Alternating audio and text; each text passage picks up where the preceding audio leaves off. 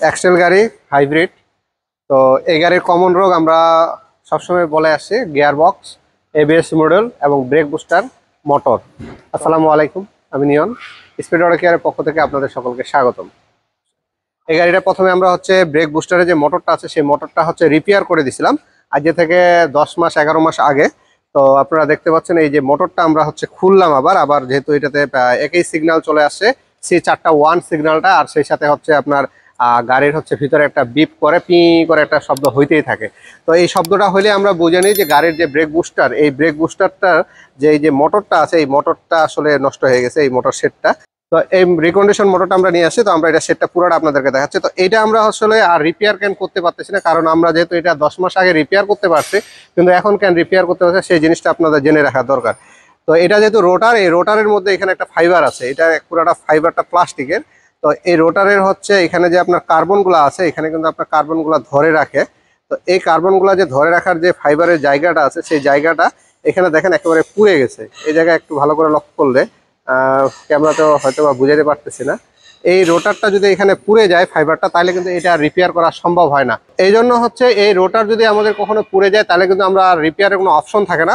তো আমরা ফার্স্টে দেখা যায় যে অনেক গাড়িতে আমরা দুই, তিনবার, চারবার পর্যন্ত রিপেয়ার করছি। যদি এই ফাইবারটা ভালো থাকে তাহলে আমরা যতবার ইচ্ছা ততবার হচ্ছে আমরা রিপেয়ার করতে পারি।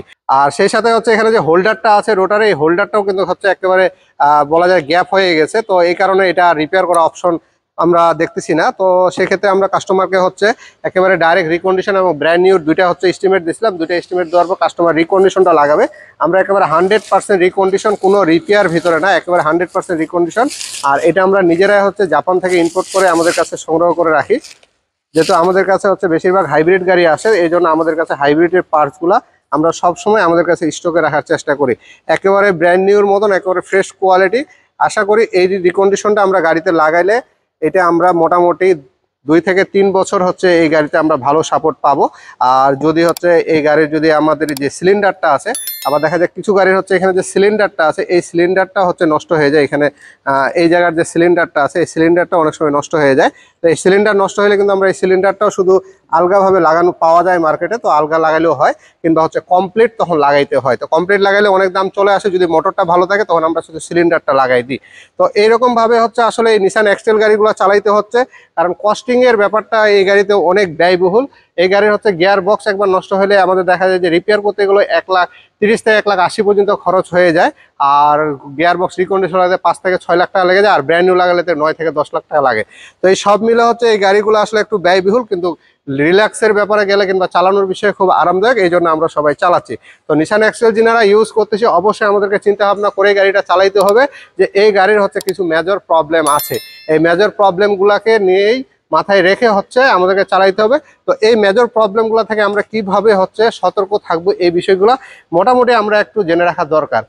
গিয়ার অয়েলের যে ইস্যুটা আছে গিয়ার অয়েলের ইস্যুটা অবশ্যই আমাদেরকে মাথায় রাখতে হবে।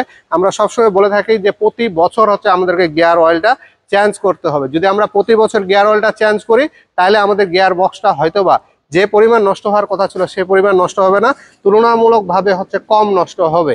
আর ব্রেক বুস্টারের বিষয়টা হচ্ছে ব্রেক বুস্টার আপনার হচ্ছে ঢাকা শহরে যে গাড়িগুলো চলতেছে এবং চিটাগাঙে যে গাড়িগুলো চলতেছে, যেগুলো যানজটপূর্ণ এলাকা কিংবা শহর, সেই যানজটপূর্ণ এলাকাগুলোতে এই মোটরটা কিংবা ব্রেক বুস্টারটা ভালো রাখার কোনো অপশন নাই। আর এবিএস মোটরটা সম্পূর্ণ হচ্ছে ডিপেন্ড করা হচ্ছে ইলেকট্রিক তার হচ্ছে কোনো জায়গায় যদি সে শর্ট সার্কিট কিংবা হচ্ছে কোনো ফল্ট হয়, সেক্ষেত্রে এবিএস মোটরটা কাটে যায়। তাছাড়া এটার কোনো সতর্ক কিংবা হচ্ছে সেফ থাকার কোনো অপশন নাই ব্রেক বুস্টার শুধু গিয়ার বক্সটারে হচ্ছে সতর্ক থাকার কিংবা হচ্ছে ড্রাইভারের একটু ভূমিকা আছে, যে ড্রাইভারের ভূমিকাটা হলো যদি ড্রাইভার রেডি যে পিক আপগুলো উঠার পরে হচ্ছে ব্রেকটা করে, সেগুলো যদি একটু অ্যাভয়েড করে স্মুথভাবে গাড়িটা চালায়, সেক্ষেত্রে হয়তো এই ব্রেক বুস্টারের মোটরগুলো কিংবা ব্রেকটা যদি কম পাম্প করে প্রয়োজন ছাড়া যদি ব্রেকটা যদি না চাপার প্রয়োজন হয়, সেক্ষেত্রে হয়তো বা এই মোটরগুলো ভালো থাকতে পারে। তো সব মিলে এই ব্রেক বুস্টার কিংবা হচ্ছে গিয়ার বক্সের ইস্যুগুলো একটু হলেও আমরা সতর্কভাবে চালানোর চেষ্টা করব, একটু স্মুথভাবে চালানোর চেষ্টা করব। তাইলে হয়তো বা যে বড় বড় যে এমনগুলো লাগতেছে যেটাই হাত দেওয়া যায় পঞ্চাশ হাজারের নিচে পঞ্চাশ হাজারের উপরে এবং একেবারে দশ লাখ পর্যন্ত ঠেকায় দেয়। তো সব মিলে আমাদের যদি এই ইনফরমেশনটি ভালো লাগে থাকে, অবশ্যই আমাদের চ্যানেলকে সাবস্ক্রাইব করে রাখবেন।